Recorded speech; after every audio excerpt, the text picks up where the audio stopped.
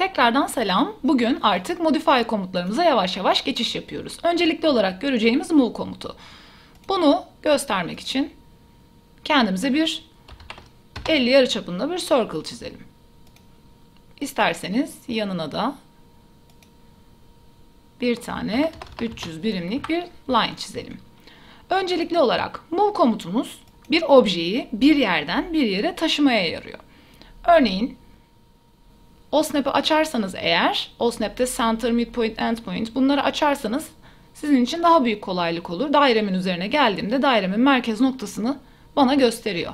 Merkez noktasından tuttum. Şimdi benden ikinci bir noktayı belirlememi istiyor. Yani taşıyacağım noktayı.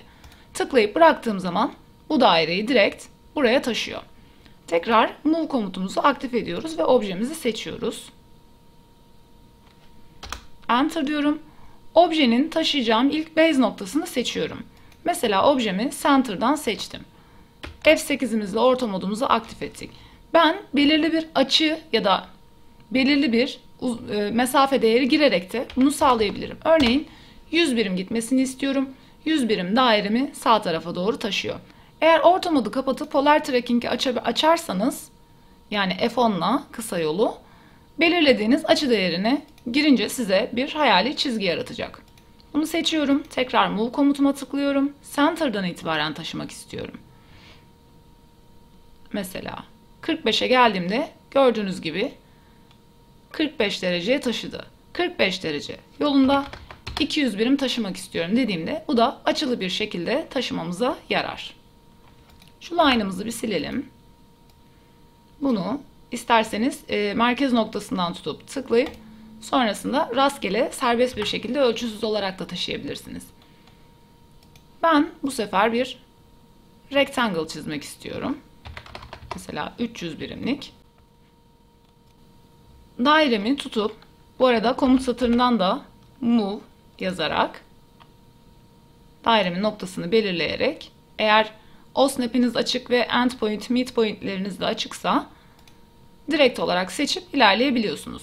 Şimdi bunun için ben copy komutunu kullanmak istiyorum.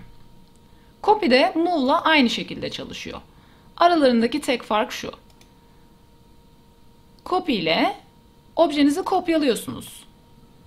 Siz komut, komuttan çıkana kadar kopyalama işlemi devam ediyor. Copy komutu da bu şekilde kullanılıyor. Yine move komutunda kullandığınız gibi bunun içinde açılı kopyalama yani belli bir açı hizasında belli bir uzunlukla belli bir mesafeyle kopyalama ya da taşıma işlemi yapabiliyorsunuz. Örneğin ben yine klavyemden copy komutumu giriyorum. Center'ımı seçiyorum. Örneğin 135 derecede 135 derece açıyla 200 birim dairemi kopyalamak istiyorum.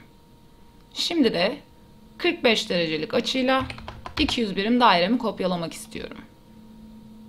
Aynısını gördüğünüz gibi Polar Tracking'den açtığımız açı ölçüsüyle belirli bir noktayı yakalayarak kopyalama işlemine devam edebilirsiniz. Bunların hepsini birden kopyalamak isterseniz mesela diyelim şu rectangle'ımızı silelim. Bunların hepsini kopyalayıp kendinize bir patern yaratmak isterseniz eğer kopyayla de yapabilirsiniz ama gereksiz bir şekilde uzayacaktır. Mesela 200 birimlik ya da şöyle yapalım. 0 derece açıyla x aksisinde 600 birim ilerisine kopyalamak istiyorum.